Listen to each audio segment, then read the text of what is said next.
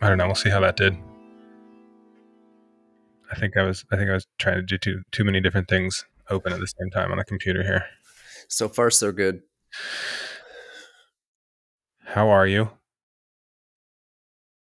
Are you I'm, I'm here. around the world? What's that? You've been traveling around the world. Are you worn out?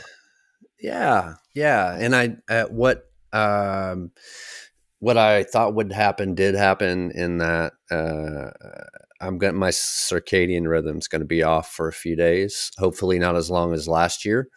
Um, woke up bolt upright, upright. I had been up for almost 24 hours. Um, went to bed about 10. Um, woke up at 3:30 in the morning, wide awake, and um, so I'm assuming that's the way it'll go for a few days. Whew. three three thirty in the morning. So that was about what forty five minutes early for you. A couple hours, hour and a half, two hours. Okay. And what did you what did you do with that extra time? Did you did you stay awake? Oh, for sure. Yeah. I found things to do. I had a bunch of things to do. I bought. Is there, do you feel like there's ever a time when you don't have a bunch of things to do? Nope. Never, ever. I'm never bored, ever. Well, sure. Yeah. How about you? How about you? Well, I have good news. All right. We got we got reader mail. Oh. it's not a, it's not a readable podcast, but we still got reader mail. I'm going to call it reader mail. Is this reader mail that will make my mother blush? There's there's one bad word in it. It it just starts with "f me." I'm hooked. It's 5 a.m. and I'm listening to, as Terry put it, two hacks in a basement. So that's good. And also, this was this was reader mail in response to ten questions, which we did a while back. And Oh, so yeah. the the ten que- the reader mail uh, has answers to the ten questions as well. Oh, Some some okay. So here here, here are the questions that our that our fan mail got on. This is from this is from Tim in Virginia. Uh, do you think that aliens have visited Earth? Uh, I think you said you said basically that you think maybe we are the aliens, or maybe he said we are the aliens, and then he wrote the entire lyrics to Radiohead's "Subterranean Homesick Alien" homesick alien. in the email. Uh, and now, so we also have a we have to respond with a follow up. He's got a question for us, the eleventh question. Uh, do you think the Earth is flat? Oh man, this is such a weird thing. How uh, you know? Obviously, I spent a fair amount of time in planes over the past ten days, and um, no, I don't think the Earth is flat. But I, what I thought about while flying over the sphere that is the Earth. And uh, first off, how the hell would I know? How the hell would I know? I mean, I trust the ninety nine point nine nine. Let's call it hundred percent of credentialed scientists that have done, you know, going back a long time that have said the earth is round or a sphere. So I'm going with that. That's what I think, but I don't know personally. Well, Anyway, there's, I mean, there's there's curvature of the Earth. That part you can observe for yourself. I think so. So you've you've been to multiple places on the Earth, and when you look up at the moon, and there's a shadow on the moon of the Earth, it's a curved shape, which wouldn't happen if it was a disk. You've watched you've watched a ship sail off to the end of the horizon. I've I've seen it all. I, I know flight trajectories. I know satellites. I I'm just saying all of those things. I trust that someone else's explanation. I don't personally know that. I feel like this is a case where the explanation itself is fairly easy to follow. I took. Let's just say yes. The Earth is a sphere. I don't think the Earth is flat. No, But there was a follow up question from reader Tim. But I want to I want to say something about the, Yeah. the the flat earth people. What's it matter if it is or it isn't? Like if you're right, if if if diehard flat earth person is correct, what's the prize? I mean- you'd be, you'd be right. Is there any better prize than that? is there any better prize than So being correct? my position on this and it's it's like what what do you win You know, do, does somebody show up with a bag of cash? Do you never have to work again? I mean, like, what is the prize for being correct on the earth is flat? Because some of these people are like, it's a real thing. It's a real, like, it's a real position that has been staked out and whatever. This is, this is, uh, I don't think we want to take too Here's much here's a follow up question from reader Tim. All right. Would you be surprised to find out that the Earth is flat?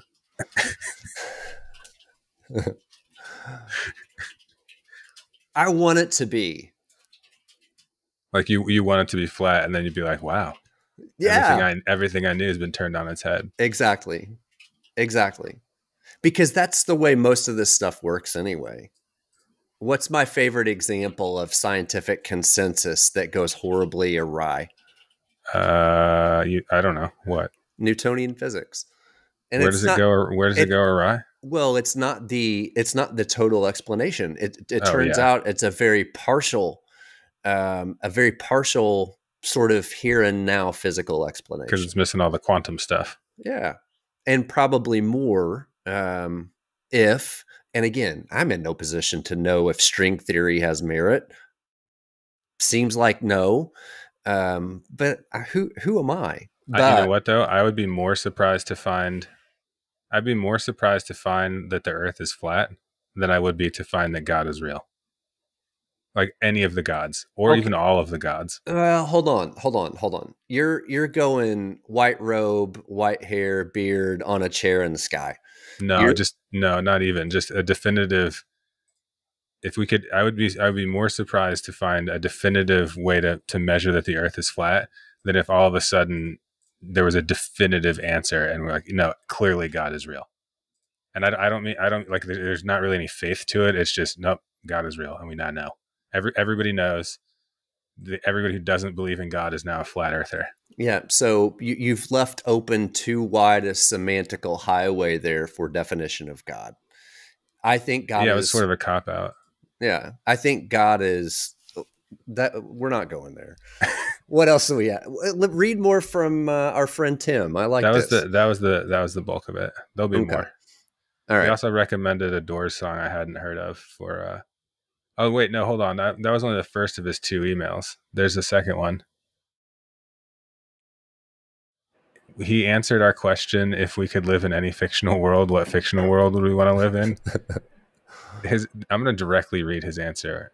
He he just wrote in the answer here. Well, certainly not this fictional world. It sucks, and whoever or whatever created it lacks imagination. Zero stars. Would not recommend. I would have a tough time choosing between the Buffy verse from Buffy the Vampire Slayer, Stars Hollow, uh, which is the universe of Gilmore Girls, and Cicely, the universe of Northern Exposure. And in his personal fictional world, Lima, Ohio was named after lima beans, which are an abundant local crop and a significant source of income for the for the region. oh, I forgot about that. Lima, Peru, then obviously being named after Lima, Ohio. Name Ohio. Yes. Duh. So really, the the lima bean is um, a a lot of different cities are trying to dim its sparkle. Yeah, I mean this was this was a real tome we got from Tim. It was a it was a Tim tome. So maybe I'll come back to the Tim tome another time. But I want to. I had a I had a couple questions for you, Okay. and my I, it was a it's a long list, but I think my favorite question I had that's been eating away at me for a couple days off that we've had here. I want to know how you feel about making music and why you make music. Ah man. There's more layers to this, but I don't want to overload the question. Yeah. Well, I think the most concise way to answer that is at my core, I am a creator and a builder. In ter- I, I'm Yeah. not, not assigning degrees of competency to that creation and building, um, but that's what I am. I am satisfied uh, unendingly by being a creator. So, uh, music's been a huge part of my life. I've been a writer my whole life, and those two worlds merged uh, a long time ago. So that Do you is most of your writing in songs now?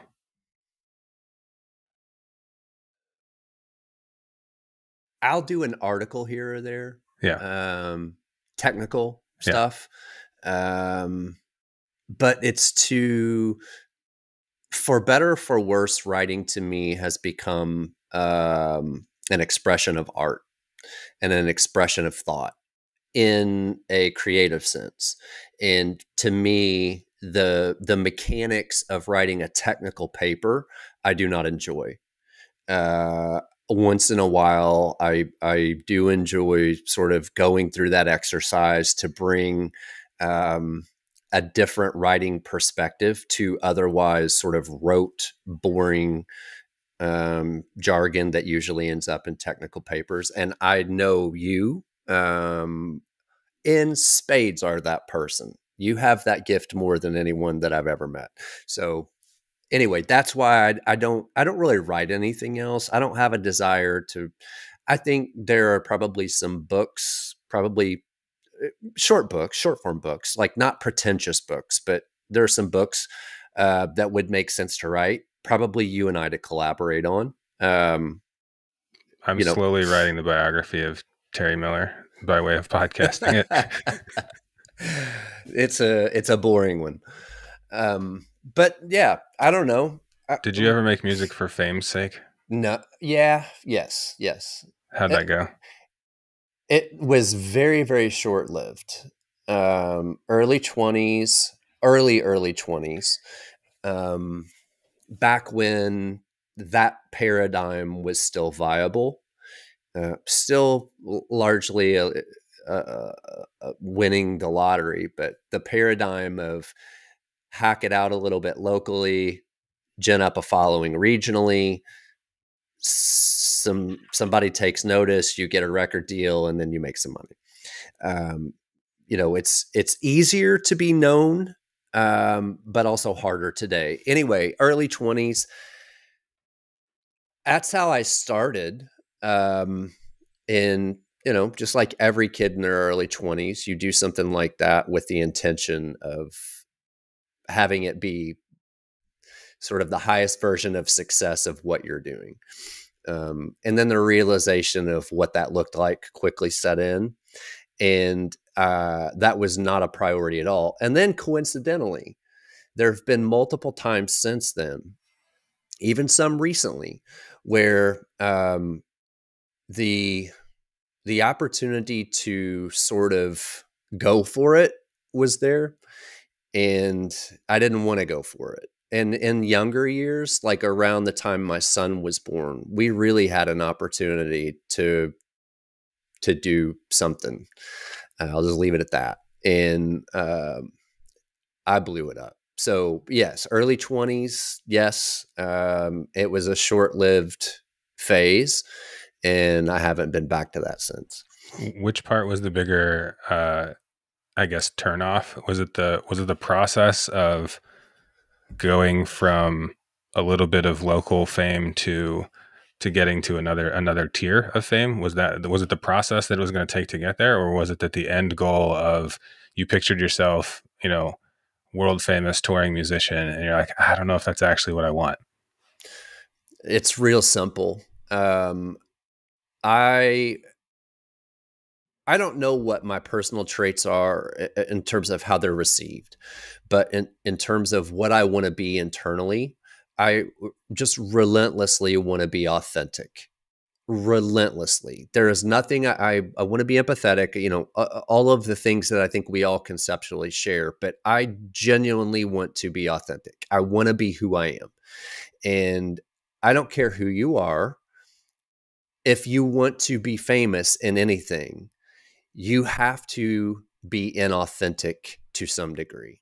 You have to do things you don't want to do and i i can't do that i can't like even today i can't i can't sit and i can't do enough social media content for the band to get it off the ground to get it out there to to make it known i can't do it like eh, there it's so much of that now if there's a way that I find that is more organic and authentic and you know, if we were playing shows every day, that would be a different story. Or have you know, there there are ways to do it, I'm sure, but as it stands today, I, I can't do that. So, um, I think my authenticity is the limiting factor, or my desire to be authentic is the the limiting factor.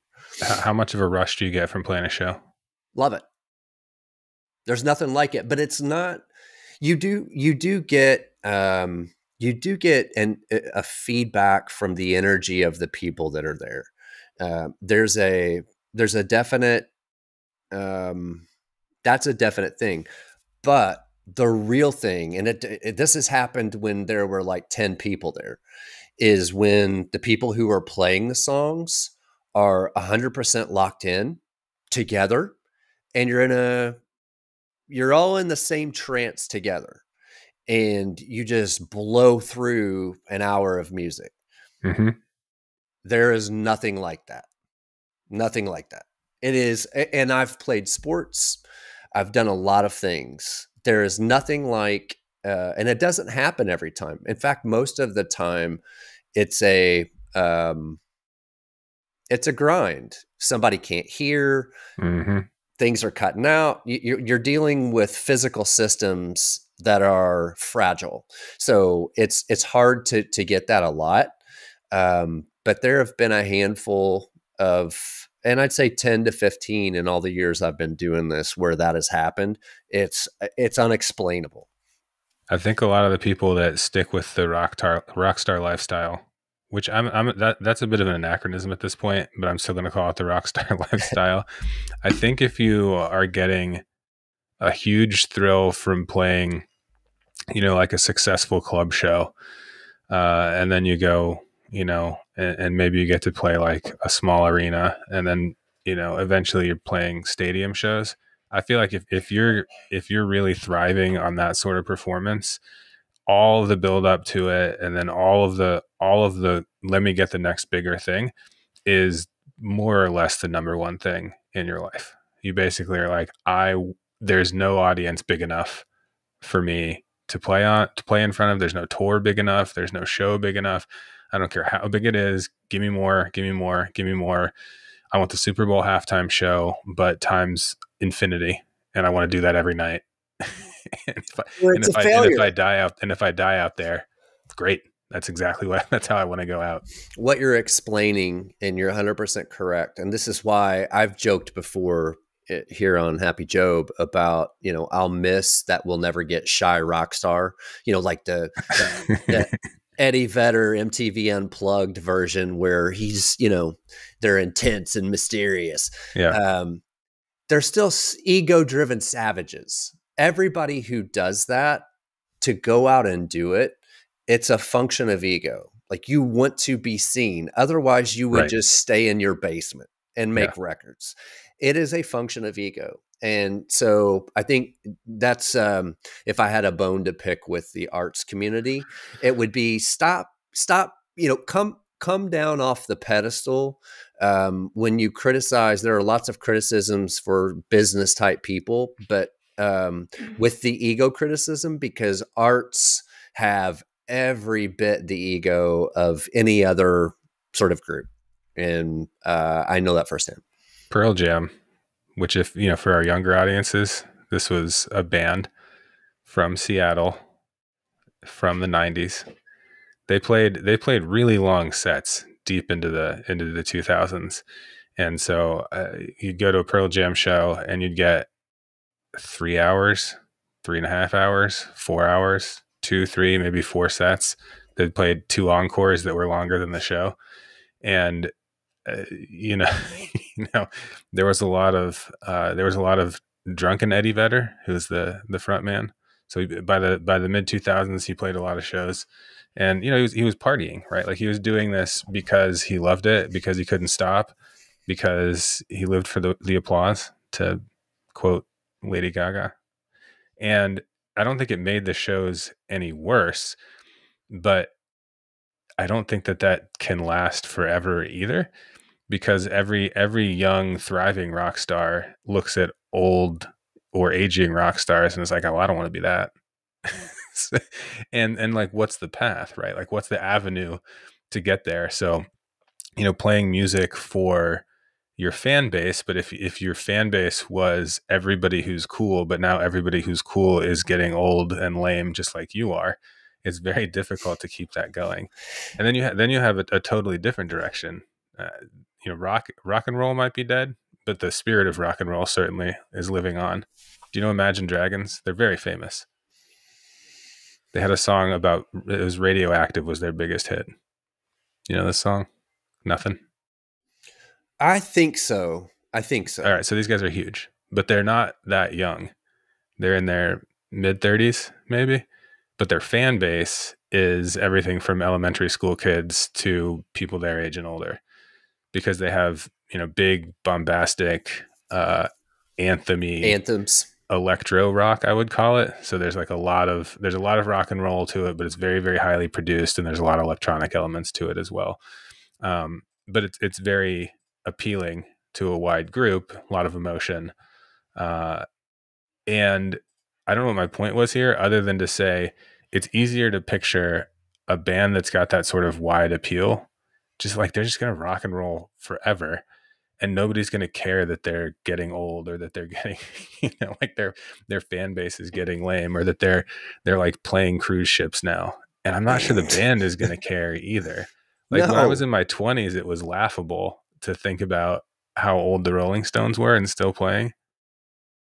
That was 15 plus years ago, and they're still playing and still touring and still selling out stadium shows for huge amounts of money for uh, their tickets. I don't know what's motivating these guys. But think about it. They are the penultimate lucky of the lucky. There are like five bands, 10, 15 artists maybe in the history of this thing that get to keep doing their version of what they were doing and not play in state fairs and cruises and casinos to make a living. Right. And even even if you get to the, you know, I'm not so I'm I'm now old and wise enough that I actually don't feel comfortable mocking aging rock stars. Oh, I do, and I have because a, because I have more in common with an aging rock star than with a than with an up and coming rock star. But and I'm, I don't want to name I don't want to name bands because I feel like it's unfair and they've already got piled on. But if you go one tier below the top tier, and when I say top tier, like the, this, this is going to be a laundry list of bands Terry doesn't listen to, right? But in in the rock and roll world, it's you know, Imagine Dragons is a good example. Uh, Red Hot Chili Peppers, uh, Foo Fighters. These are bands that have been doing the same thing for decades and still sell tons of tickets. Uh, if you go one tier down in terms of prestige, in terms of sales, in terms of how long they've been doing it, it's a totally different world. And the the smacks of desperation versus the these people are just still clearly loving every second of this is pretty wild. So I like the duality of that you frame that well. I like the duality of that group because I think two things are true. Yes, it's embarrassing. Um, because it's only, it's only embarrassing if you're embarrassed by it. well, it's it's it's like it's easy to it's this the same thing as um, you know actors or actresses mm. taking really crap gigs. Yeah, bad roles. Yeah, but the, the duality is there's that, but then there's also they're getting paid. You know, it's a check. Now, the question exists um, what would you in fact do for money? Um, but this whole thing brings up uh, you know duality and aging rock star. I love the juxtap- juxtaposition and i think of lead guitarists for some reason because they're the bad boys of the band the you know the they're the the, they're definitely the divas.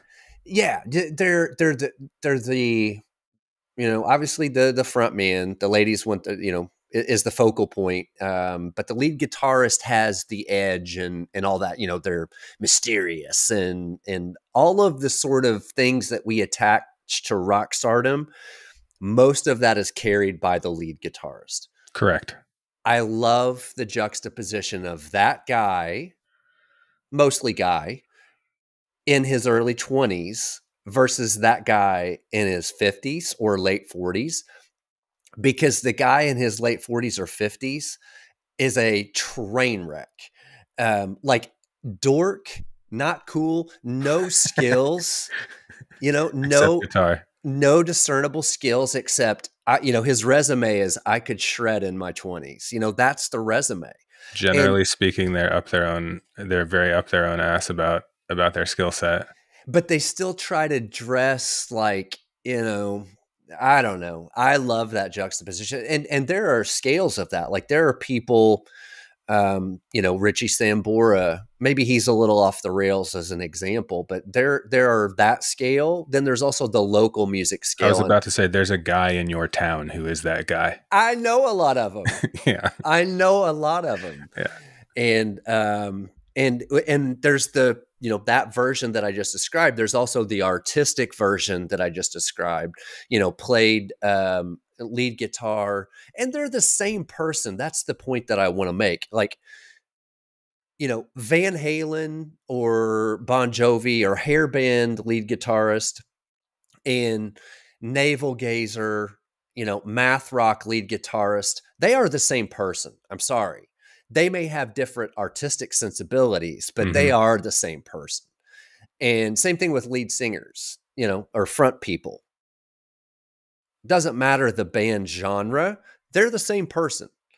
And uh, I, I just love that that juxtaposition of how things, those characteristics that we find so endearing in artists, musicians, rock stars in their early 20s, those things don't age well. They don't translate well to f- late 40s, early 50s. They just yeah, it's kind of it's kind of it's sort of uh, the word I want to say is unfair, but but I, I, mean I think most people know what they're getting into if they sign up for that life, or they mm. they could know what they they were getting into. But the beneficiary of the rock star lifestyle is all of the the screaming fans who are you know they're able to like like you go to a show, you're a screaming fanatic, and you, you like you hang it up and go back to your life. right yeah. like that's the beneficiary the beneficiary is the this the caricature of the super person that we that we put up there as you know oh that could be me or look at how amazing this person is and you know it chews them up and spits them out yeah well i think there is an element of it takes a unique mindset to have enough comfort to walk on a stage in front of five people yeah. and perform right and and especially as a writer um, to say here is the stuff that i have written and this gang of misfits is going right. to perform it mm-hmm. and you're going to judge it yeah you have to that takes a special person so i think as a fan you understand going into this contractual agreement I don't have the juice to do that. So that's why that relationship right. has yeah, the exactly. dynamic that it has. Yeah. Um, and then the more flamboyant, the more elaborate, the more, you know, the more performant that a person is, I think the more people recognize, oh, this is a it's it's really it's our brain's ability to spot um outliers. And right the the ultimate rock star performer, the Mick Jagger. Like Mick Jagger, we we would not survive as a species if we were all Mick Jaggers. I, no, I, I think you're right. So I think I think our brains are you know hardwired to um, you know spot that and are drawn to it. And it's not even so much as a oh that's the that's the greatest thing for the you know it's the best thing ever, but just I don't I can't do that. I, I watched Michael, I watched Michael Jordan play basketball one time at a game. Exactly. Live. It was nothing like any other basketball game. It was not, nothing like it. And he he was quite over the hill by this time. And it changed my entire perspective about basketball in a couple different ways. And it I mean I'm just glad I got to see it.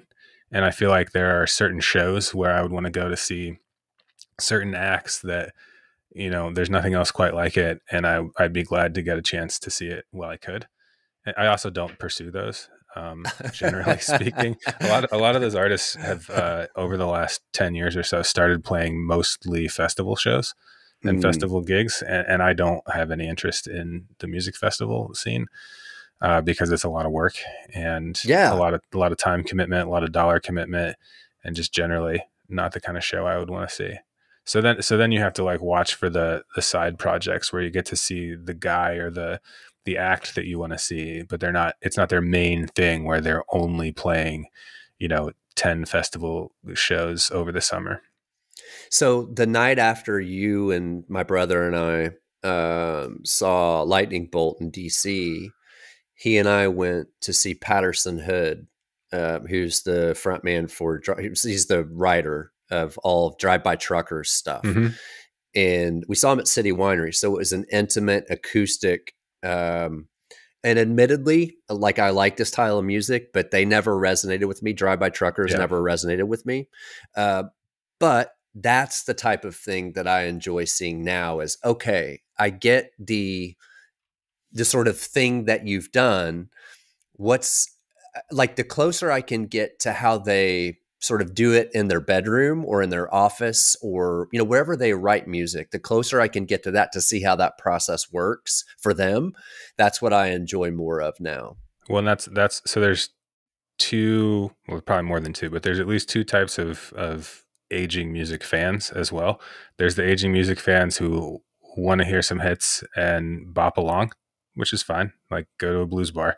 And there's the there's the aging music fans who are watching and thinking in terms of what's happening, not just what they're hearing. And you know, it's the same as watching baseball as you learn about strategy and you you learn about um, the ins and outs of the, the game that you don't necessarily see on the field being played. But the same thing when you go and, and watch a show. So thinking about how the production was created thinking about you know a lot of a lot of times is manifested as laundry listing personnel so somebody that's followed a band for a long time will be like, "Oh, well, so and so used to be the drummer, and then they played for this other guy, and this and, the, and then now they're with that guy, but then he died, and now they brought in so and so who used to play with such and such." And I'm like, I find that so tedious. Yeah, but it's that is it's not for me the person listening to that it's for the person that's like cataloging this is what happened to the band and this is how the sausage got made and this is the you know the stuff that's behind behind the music or behind the show that's actually being that's actually being played as opposed to just here are notes that I like going in my ears. This was a good or a bad show tonight. And so engaging with more of the process and more of the meaning and more of the people making it makes it easy to continue to care about music even even as sort of like your taste either broaden or get more narrow and you only like what you like. It just gives you another level to be sort of feeling like you're participating or feeling like you know what's going on in the music. And and that engaging with that is also it's the other way for aging rock stars. So every aging rock star that kind of thrives after their big career they find it they find the next way and overwhelmingly the next way is engaging with the music on a, on a different level. So whether that's uh, having an instagram account where you're breaking down you know popular riffs and covers of your own song or whether that's a youtube channel where you're talking you know you're talking about production or whether it's a you know you turn like Eddie Vedder did a an album, a solo album of ukulele songs, and at this point, even that album is old. But you know, like he's doing that because he's like, can I write songs that are just me and a ukulele, and make that an album? And then what would happen? I mean, it's like that's not for a mainstream Pearl Jam fan. It's for somebody who's either going to give it a couple listens here or there, or it's for a random ukulele music fan. And really, the person it's for is for Eddie Vedder like, that's the, the person it's, it's, for. It's for the bank account. Uh, not ukulele songs. No, but he can go play club shows by himself off that record and get people to come out and see it. I don't think I don't even think he tore it off of it. I think I think this was a this was a I want to make a ukulele songs album, so I did.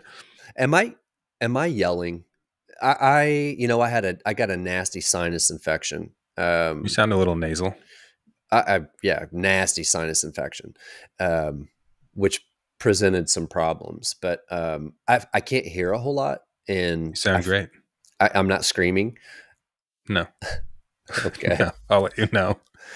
You asked me a question, um, or you, we've we've been sort of all over this issue. I want to explain um, to you for me today at this age what I find so satisfying about this, and and I'll explain it.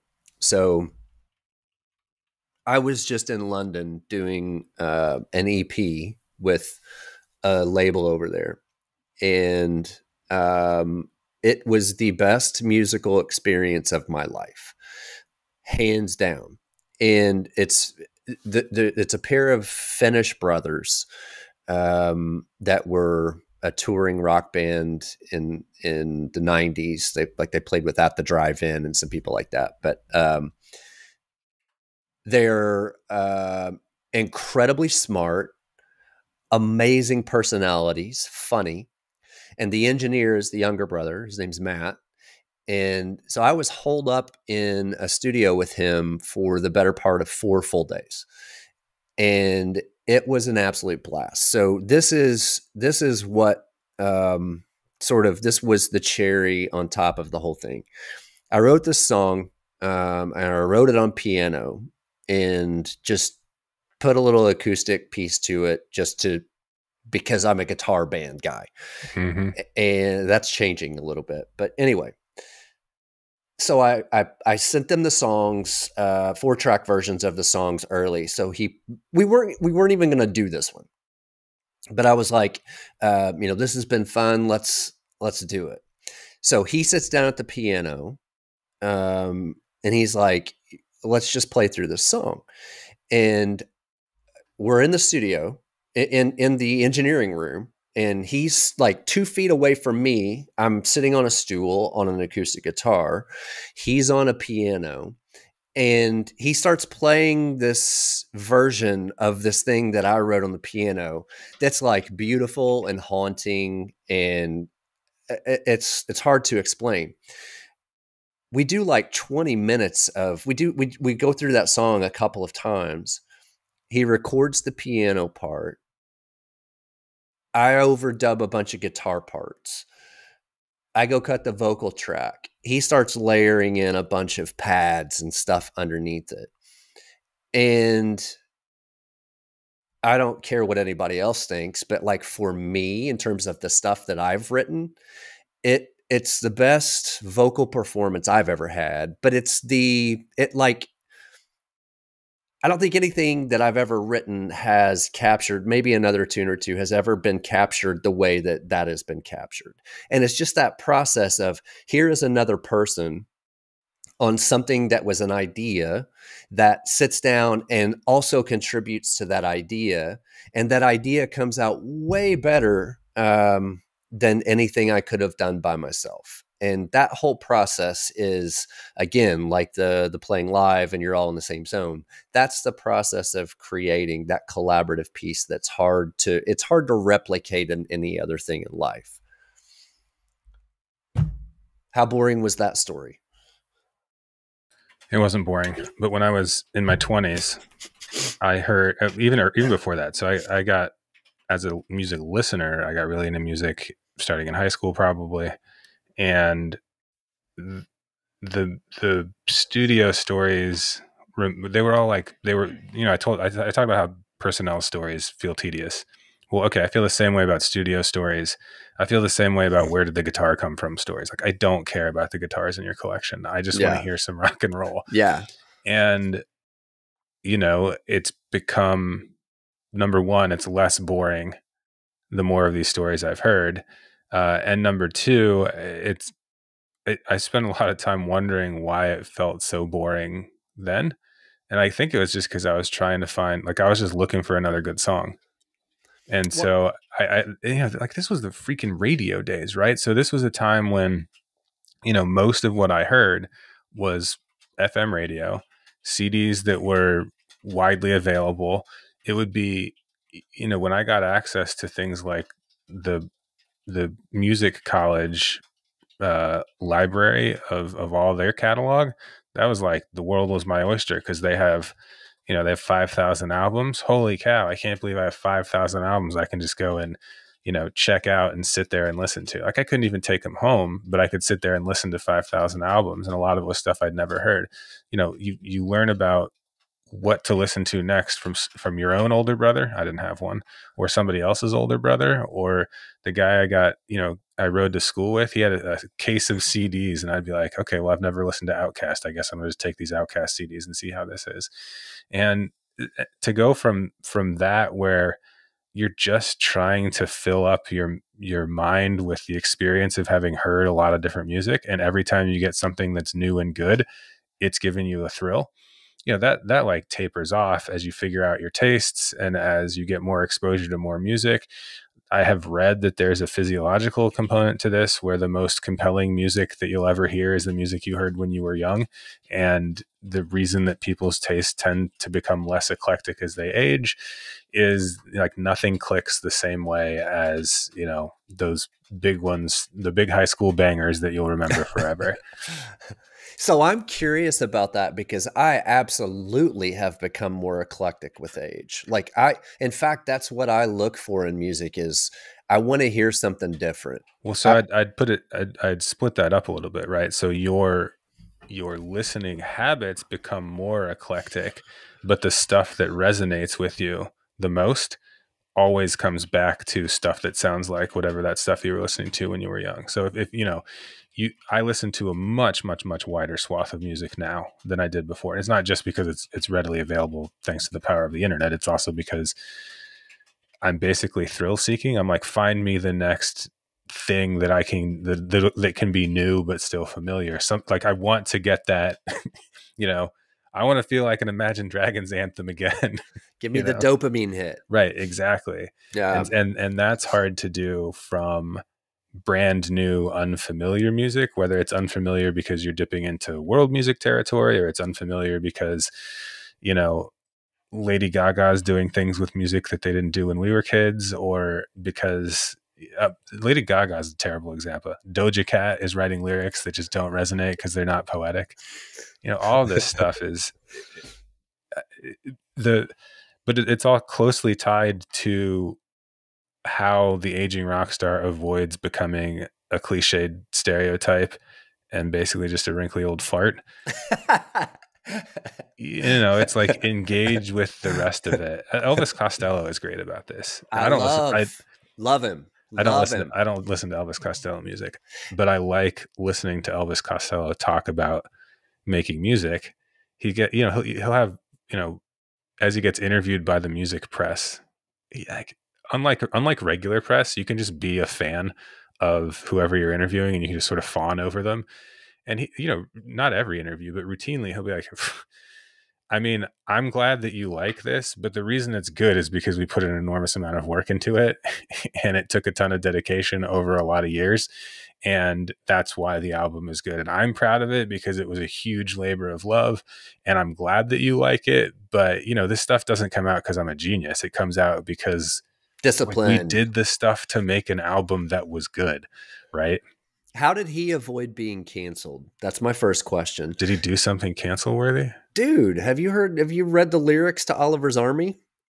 That's no, I don't listen to any of his music or read any of his lyrics. I just know that he's a he's a name that gets dropped by music fans and his jazzy or duetty type stuff is like three steps away from music I would I would listen to for the most part. Well, go listen to Oliver's Army because it is a classic, awesome record. Awesome record. But also, isn't isn't aren't you but, allowed to aren't you allowed to have terrible things, say horrible things if they're lyrics? It's when well, you say them and they're not lyrics that you get canceled. I mean, Doja Cat would be canceled if if not. I don't care. I don't. I'm bored with that. Uh, like the, we could we could get real current eventy with that topic, and I don't care about it. Here's my question for you, and I'll give you my answer first, and Please. then I want to I want to I want to ask you. I have cried the first time, and not like sobbed, but uh, a song has moved me to tears the first time I heard the song. Has that ever happened to you? Uh, you're you're very yes. okay. Yeah, but it, but it was like barely a song. It was a, I, the song is called "Real Death." I don't even know who it's by. And this dude's uh, wife died of cancer. They had a young kid. He wrote a song. He wrote an album about it. And I heard the song. I was like, "That's too much. Can't do it." Yeah, that's like real literal. Damn. Well, he just he just did a very good job of capturing Yeah. what happens when somebody dies and, and not like not not the not the stuff about, you know, I'll The miss your soul forever and your light is being extinguished. It was not a hymn. It was like and then we had to have an ambulance come to the house and take your dead body away type of stuff, which was a lot. Like that was really tough. yeah. Uh, there was also a song that made me cry. This is, with the benefit of hindsight, this story is almost funny. The other song that made me cry for exactly the same reason, this LCD Soundsystem song, um, "Someone Great." You know the song? Yeah. Yeah. So I, like the I, I love that band, by the way. great band, great song. Yeah.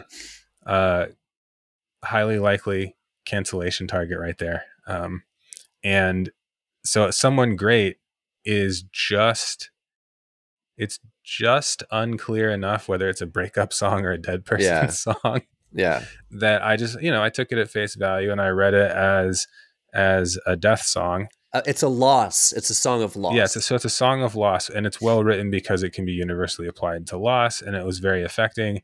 And I like I would have to skip it because I get emotional.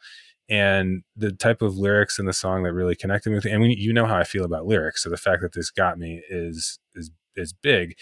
Uh, but like this, the, whatever the line is about the how it's the weather is nice, but it should be raining because you're because you feel like you have a sense of loss. That really connected with me yeah. um because that part was very griefy and very realistic so that song made me very emotional and then because i'm an idiot i went to read more about what the song was actually about and it became it became clear with not a lot of extracurricular reading that it was not a song about someone dying It was a song Drugs. ab- no it was a song about breaking up with somebody Yeah. Well, that makes which sense. which you know like i the song should be able to stand on its own merits but the emotional punch of knowing that it was written about a breakup was as, as opposed to a dead person that definitely took a little bit of the sting out of it for me so i can listen to it now and i don't get worked up it's a good song too so that helps Yeah. Do you know what i experienced long before crying about a song though adrenaline Oh, I didn't even know I didn't even know what it was. Yeah. I remember like I'd be sitting in the car, classic rock station, roundabout would come on, that like bass solo part in the in the beginning, and I'm like, yeah, this is great. I got these shivers all over my body. And then and then, you know, 15 years later I was like, oh yeah, the shivers, that's that's adrenaline. That's what that is. there are like four or five songs off of um Evil Empire, I think is the name of the record, Rage Against the Machine, that to this day, when those come on, I'm like, eh, maybe we should go, you know, break something or run through a wall. Like I it was, really enjoy it was it. helpful to connect adrenaline and triggers for adrenaline because then I also was able to basically sort of Diffuse it. use that. Well, yeah, well, no, I never learned how to do that. Um, but it was useful for things like I'm nearly at the finish line of a running race, and now I'm like, and knowing, okay, if I if I get a shot of adrenaline now and it's too early, this is going to be bad. And if I get it just right, I'll be able to finish strong and feel good about how the rest of the whole thing went. So that was kind of cool. my cry song um at least the one that i can remember is uh, it's off of Son Volt's second album i think the name of the album is straightaways Yeah. and there's a song called left to slide and there's this like super haunting steel guitar part at the end and this like big chorus and this harmony that they drag out that's like so lonesome Mhm. and sad and I don't even know what the lyrics are about. I don't care. But whatever came together at that moment was very haunting. And um so I and it's weird because my brother and I sort of connected notes um or compared notes about hearing that's back when you got an album when it first Yeah. came out and you know a couple weeks after it came out we compared notes about our first listen i was like he was like man i was sitting in my car on break um, from whatever job he was working and he's like just you know crocodile From the same song. from the same song Wow. the same spot it's crazy I, Anyway. it's it's also it's sort of wild. I you know I don't listen to lyrics closely for the most part, but I've never cried over an instrumental song. I can tell you that definitively. Or or never No. an instrumental song, never an instrumental section. Like I only cry about the subject matter of the words, which may be very deeply uh, emphasized by the music, but it's not the music part by itself that's making me cry. It's got to be the words. I would. I also want to add.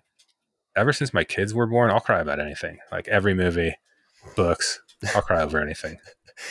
Uh, oh, that surprises me because you have um, what feels like a very Brahmin exterior, like a very East Coast Brahmin exterior. Um, but Charlotte's I'm- Web, oh, killing me. I could barely. I couldn't make it. I'm like think- reading it. I'm reading it aloud to both kids, and I'm like, oh my god, the whole last three chapters of that book. there it is. So there's a song, um, and and it's not crying, but there's a song that you should check out. It, there's a local band here from Louisville that would have been huge, um, but the lead singer uh, passed away of cancer. This was a number of years ago. The band's name is Shipping News, and they have a song called Axons and Dendrites. You just have to listen to this song and sit with the vibe that the song gives you. It's unlike anything I've ever experienced. It's not sadness. Um, it's not it, it I can't explain it. Check it out. Check it out.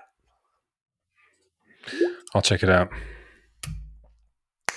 Uh, I'm gonna wrap up with the last new album, "Aging Rockstar." Not rockstar. He's an aging rapper. T Pain. No, we covered his on top of the covers album, which, well, okay, I'm gonna quickly revisit T Pain. So T Pain, as he ages, he all like my whole point about all of the aging rock star thing is what are you chasing? What are you seeking? What are you what are you trying to find fulfillment from? And T Pain, massive success, but got trashed by a bunch of people for using autotune on all his records. Spends 10 plus years seeking validation that he is a legitimate artist and he's not a gimmick autotune artist. He goes on one of the singing shows, whatever the anonymous one where, where you don't know it's T Pain until he wins the contest. And then he's like, take that haters. I won this show with real singing, not with, not with autotune. Uh, he does like this no autotune uh, version of a Tiny Desk concert, which kind of blows up. He has this whole I'm a real singer thing, culminating in a very unexpected cover album that came out beginning of this year, early last year, or end of last year, um, with non R and B covers all over it, with him singing. Fine, okay. T Pain has sought validation as a real artist. Uh, the next one I want to bring up, Andre 3000, half of OutKast, put out an album, came out this week, I think, and it is mostly him playing a variety of flutes. There's no rapping at all. I don't even think there's really a rhythm section in most of the album. And the title of the first song is like all the song names are basically either apologetic or or really really really weird.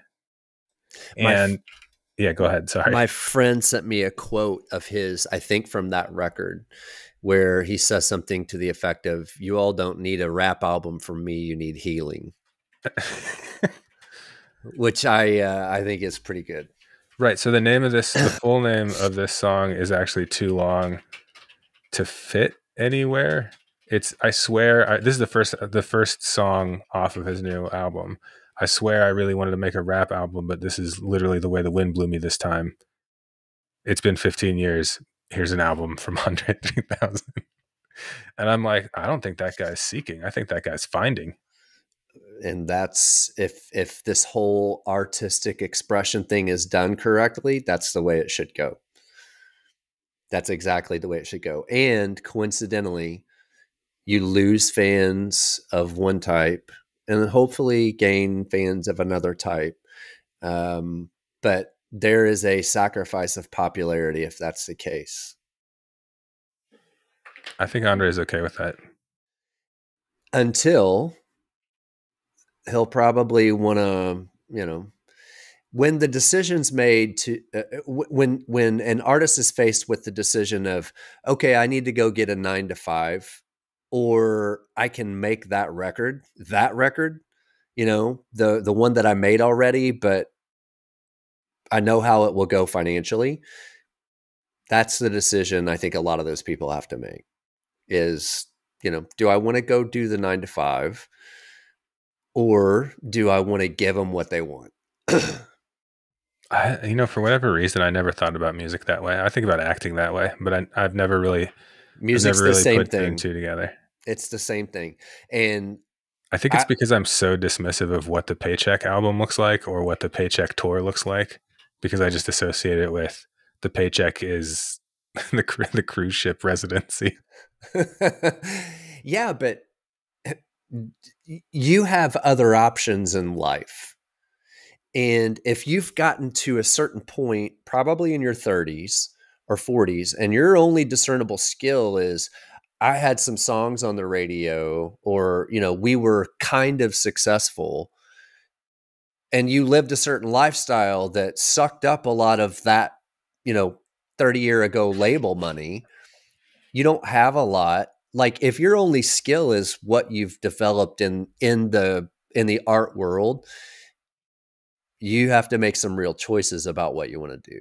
You have other options. So you can say, I don't want to, I'm not doing the state fair or the cruise ship circuit. Like I'm not going out like that. That's your prism today. But you know, 30 year old, what's I think I think of the guy, the the guitar player from Limp Bizkit that like wore a clown mask and Wes Borland. Yeah, like that guy's options. I don't know how f- much money they made or anything, but that guy's options probably not broad. You I'm know, actually, I'm going to dig into that one. That's a that's a great example. Yeah. My uh my now con- he's he's an investment banker or some shit like that. my uh my confirmation advisor was somewhat friends with their family prior to moving to where I was confirmed. Interesting. Weird, weird connection. Yeah. All right, I'm gonna take us out, Terry. Take it out. Let's let's talk about how you pay for your second career as a rock star next time. Is that actually too too much? That might be too much. Eh, I think I think we're done with this. Yeah, I think we have a good one. See you later.